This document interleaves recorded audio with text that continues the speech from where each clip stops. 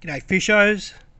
Um, I'm primarily a land-based fisherman, but uh, occasionally I'll get to go out on a boat. But uh, mackerel season is coming up, and I came across a great video by the Didio boys um, the other day on Facebook. I'll leave their uh, link in the description. Have a look through their videos. They're very knowledgeable fellas. They not sure know what they're doing. They, they catch some fish. Um, but anyways, something I picked up from the video uh, regarding wire rigs.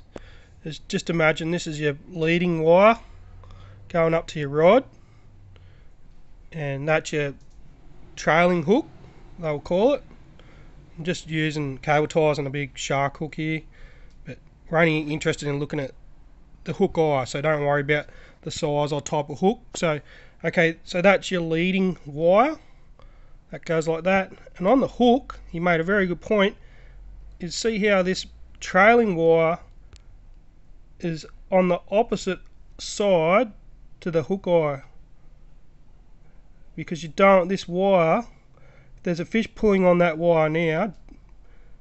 You don't want it on the other side where that gap is because the wire could pull down through that gap okay or it could damage the wire. So where it's now make sure your, your trailing wire is on this side away from that the hook eye join there. Anyway it's just a quick video and and I'm sure some people wouldn't have any idea about that. I, I certainly didn't think about it till I saw it. Um, anyways just a short video.